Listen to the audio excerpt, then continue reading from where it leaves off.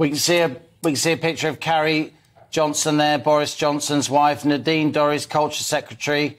See Chris Heaton Harris there, the Chief Whip, just in the background. Lovely baby. There is Carrie Johnson, and next to her, Nadine Dorries, uh, the Prime Minister's closest ally. Uh, and, and look, there's the little baby. And I don't know where Wilf is. They've got a toddler as well. I mean, to be Uh, honest, probably uh, quite risky uh, having a toddler uh, out uh, on the Downing Street. Well, the toddler did Quite not come on the trip, which, um, as anyone knows who takes a toddler on a plane, is probably best advised. Um, Uh, yeah, certainly. so, look, there we have it. Chris Heaton Harris, there's Carrie.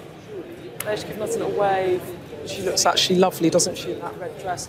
And the little baby, Romy, there she is. She's a sweet little baby. She's only nine months old. Um, and Nadine Dorries. And we are waiting for the Prime Minister. Uh, the door is opening. Here he comes. Here he Let's comes. listen in.